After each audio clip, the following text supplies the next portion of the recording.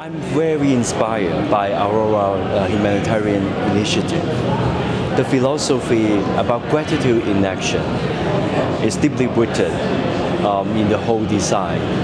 The prize itself is to remind people about humanitarian values in a form of appreciation those who have support um, the survivors and then transform them to become heroes.